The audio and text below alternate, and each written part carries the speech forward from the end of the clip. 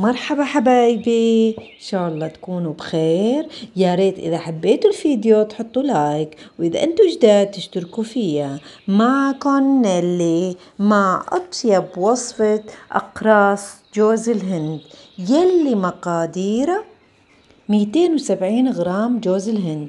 أربع بياض البيض كاسة سكر معلقة صغيرة فانيل سكر معلقة صغيرة بيكنج بودر معلقة اثنين معلقة كبيرة من الطحين واثنين معلقة كبيرة من الكاكاو وللزينة شوكولا بني شوكولا أبيض زائد معلقة من زيت المازولا. أول شي أخذنا جوز الهند وحطيناه بمحضرة الطعام مشان ينعم أكتر. في ناس ما بيعملوا هالخطوة أنا بحبها الجوز الهند بتكون ناعمة.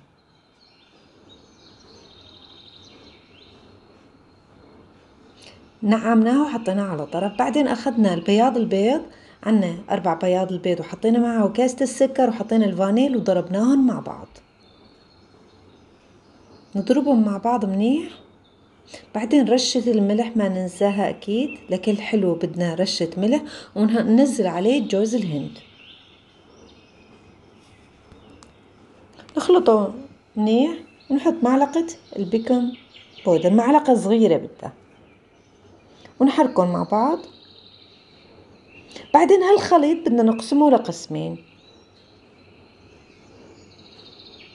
قسم الأبيض بدنا نحط له طحين معلقتين طحين. والقسم الثاني بدنا نحط له معلقتين كاكاو ونخلطهم.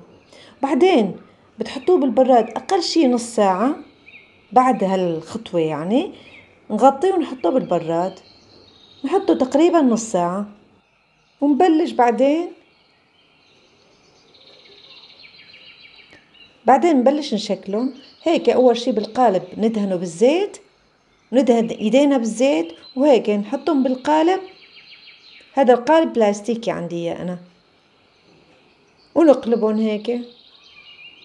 طبعا نقلبهم على الورق أو على بلاستيك مثل هذا البلاستيك اللي بيتحمل حرارة يعني. وهيك إذا شي مفتوح نرجع نحط له شقفة صغيرة.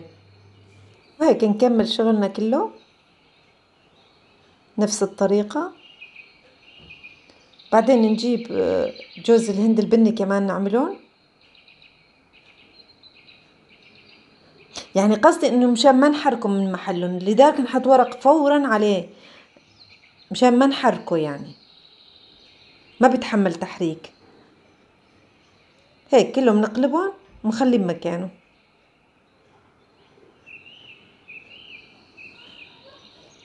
هيك بنعمل الكمية كلها. بنكون مسخنين الفرن. على المية وسبعين مسخنينه وبده عشرين دقيقة. هيك جهزتهم أنا. وبعد ما طلعوا من العشرين دقيقة خليتهم يبردوا تماما. بعدين الشوكولا كنت مذوبة الشوكولا مع معلقة الزيت. زيت وحطيتهم بكيس الحلواني وهيك عبيتهم كلهم هدول المحل بالنص الفراغ كله عبيتهم بالشوكولا. الأبيض حطيت له بني والبني حطيت له أبيض. وهذا كل واحد حر بذوقه. كل واحد مثل ما يحب خليه يسوي وإن شاء الله عجبتكم الوصفة. وإذا عجبتكم لا تبخلوا علينا ب like و comment حلو. وشكرا لمشاهدتكم حتى النهاية. وقدر اهتمامكم ووقتكم. الثمين. وإلى اللقاء في وصفات قادمة.